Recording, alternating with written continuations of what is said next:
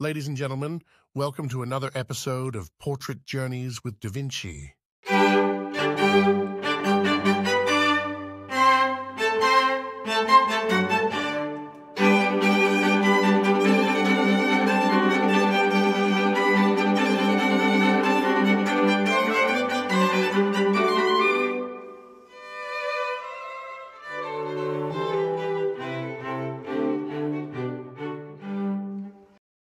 Hello, art enthusiasts. I am Leonardo da Vinci, an artist, inventor, visionary of the Italian Renaissance, and your guide on this portrait journey. In our previous episode, we delved into the remarkable art of Sofonisba Anguissola, a trailblazer who opened the door for women to embark on dedicated careers as artists. Today, we take a different path, embarking on an exploration of a Flemish painter whose brush immortalized not only Anguissola but also numerous historical figures of the 17th century. This esteemed artist is none other than Anthony van Dyck. Known for his masterful use of color and light, he was not only a portraitist but also a painter of historical and mythological subjects. His work captured the essence of his subjects with a unique grace and elegance, making him one of the most sought-after portrait artists. One of his portrait masterpieces, Charles I of England in three positions, serves as an exceptional example of his skill and artistry. Join us as we embark on a captivating journey through Anthony van Dyck's world of portraiture, where each brushstroke reveals the essence of his subjects and brings history to life. Anthony van Dyck, a name synonymous with excellence in the world of portraiture, was born in Antwerp. This Flemish master would go on to leave an indelible mark on the art of portraiture. His innate talent became evident very early. By the age of 15, he had already become a highly accomplished artist.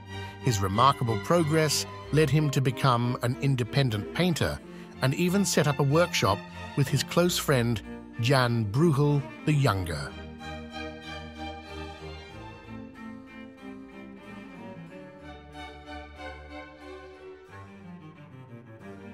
On St. Luke's Day, Van Dyck was admitted to the Antwerp Painters Guild of St. Luke as a free master. The presence and guidance of Peter Paul Rubens, the dominant master of Antwerp and Northern Europe, left an immense impression on his work, Rubens referred to the young Van Dyck as the best of my pupils, recognizing his exceptional talent.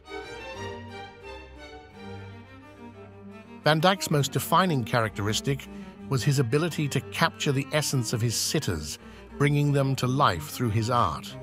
His work extended beyond mere technique and aesthetics. It was about understanding the human spirit, emotions, and the unique personality of each individual. In his portraits, you can feel the emotions, thoughts, and the very presence of the subjects as though they are about to step out of the canvas and engage in conversation.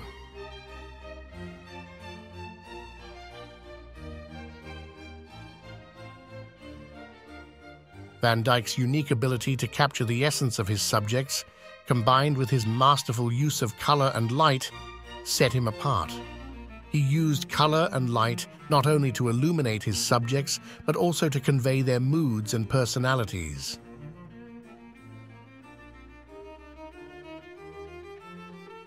His paintings are a symphony of vibrant and harmonious hues, a testament to his unparalleled skill as a colorist. This mastery of color, coupled with his understanding of human psychology, made his portraits truly exceptional.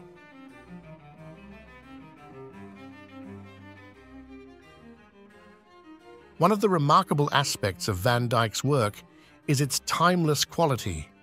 His subjects from the 17th century appear as if they could belong to any era, transcending the limitations of time.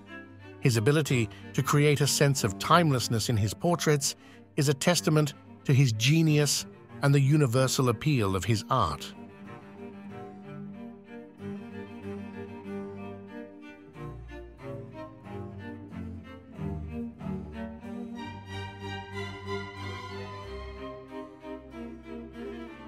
Van Dyck's contribution to the world of portraiture extended beyond his technical brilliance. He set a standard for capturing the essence of humanity in art. His work not only celebrated the grandeur of his aristocratic subjects, but also touched the hearts of viewers from all walks of life. In essence, he made portraiture accessible, relatable, and emotionally resonant.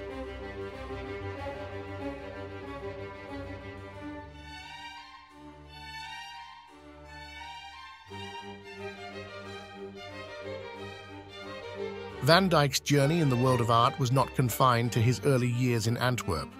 As his fame and talent grew, he found himself in the esteemed court of England, where he became the principal court portraitist.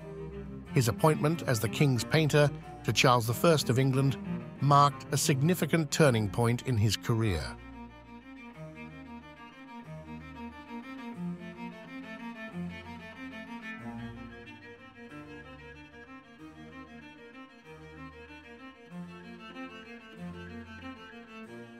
Van Dyck's talent and artistic vision perfectly complemented the grandeur of the English court during the early 17th century. Through his portraits, he not only depicted the monarchy, but also shaped the image of the English aristocracy. His work extended beyond the king himself. He portrayed the royal family and courtiers, creating a visual record of the English aristocracy at the height of its power.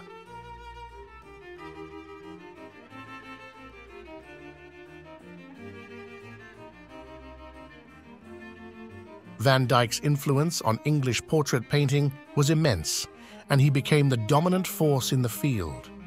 His legacy was felt for generations, shaping the way English aristocracy and royalty were depicted in art for more than a century.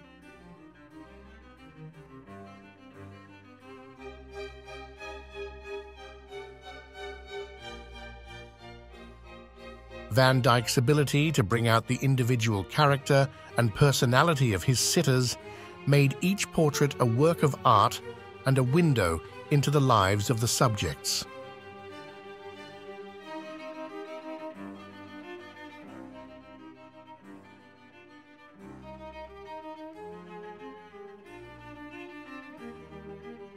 One of the most iconic works that emerged from this period is Charles I in three positions, a masterpiece that stands as a testament to Van Dyck's extraordinary skill in portraiture and his profound understanding of the human psyche. This monumental triple portrait is nothing short of a visual symphony, with each portrait capturing a distinct facet of the king's multifaceted persona. The first portrait exudes stately authority. He stands as a commanding figure, his regal robes draping with the weight of his responsibility. The second portrait unveils a more intimate side of the king, one that reflects on the duties and challenges of his rule. In this depiction, Charles's gaze is introspective, hinting at the complexities of his position. The third and final portrait reveals a reflective and contemplative monarch, perhaps a glimpse into the solitude of his regal life.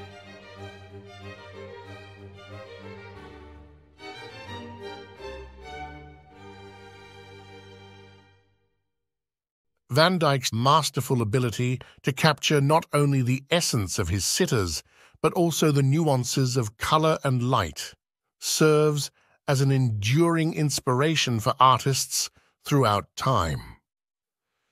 His remarkable legacy continues to influence the world of portraiture and the understanding of the human spirit, painting with the vibrant hues that transcend generations, leaving an indelible mark on the canvas of art history.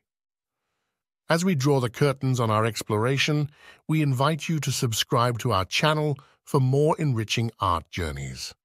You can also explore the links in the description where you'll discover a carefully curated selection of art products inspired by great portrait masters.